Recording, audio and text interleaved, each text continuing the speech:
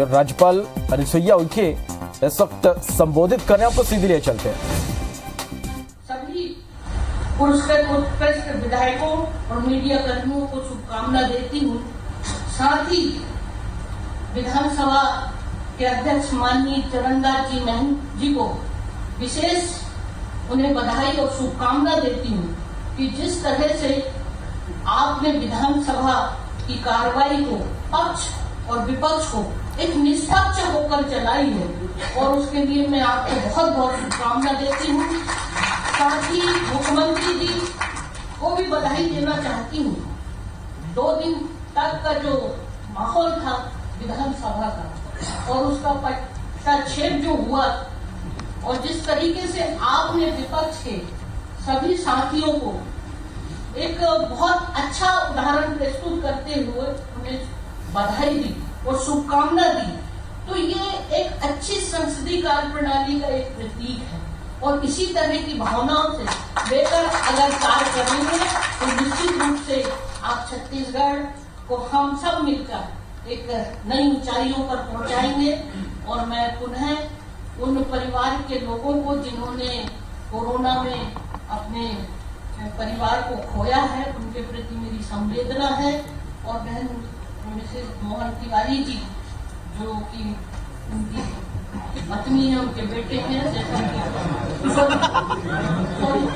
हूँ।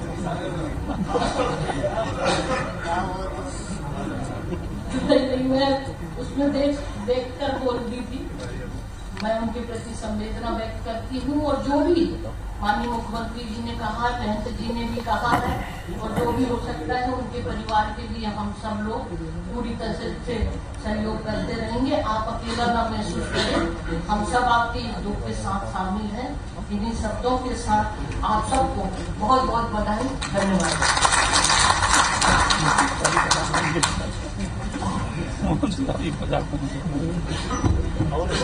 माननीय संसदीय कार्य मंत्री जी से आग्रह है कि इस आयोजन का आभार प्रदर्शन माननीय संसदीय कार्य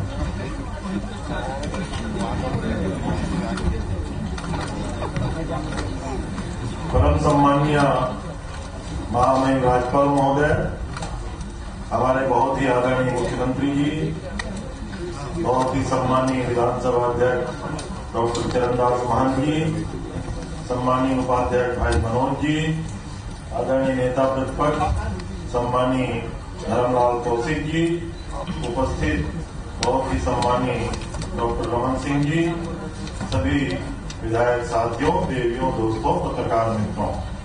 सबसे पहले तो मैं महामहिम जी का आभार व्यक्त करता हूँ। आदरणीय विधानसभा अध्यक्ष जी को बहुत बधाई भी देता हूँ कि आज का ये दिन उन्होंने जो संयोग से चयन किया, हम लोगों के लिए ऐतिहासिक और स्वर्णिम दिन बन जी को आज दो साल पूरा होकर के तीसरे वर्ष का प्रथम दिवस है। उनको शुभकामनाएँ देने का भी वक्त था। और सौभाग्य देखिए कि छत्तीसगढ़ के पौने तीन करोड़ जनता के सारे प्रतिनिधियों के बीच में उपस्थित होकर के आदरणीय ने हम सबको संदेश दिया। माध्यम बने इस कार्यक्रम के। लेकिन इसके माध्यम से पूरे प्रदेश की जनता से आपका जुड़ाव हुआ। हमारे विधायक साथी, तीन करोड़ जनता की इस बीच एक बड़ी खबर सीबीएसई बारहवीं के नतीजे घोषित हो गए हैं। पहली बार बिना परीक्षा के रिज़ल्ट जारी किए गए हैं।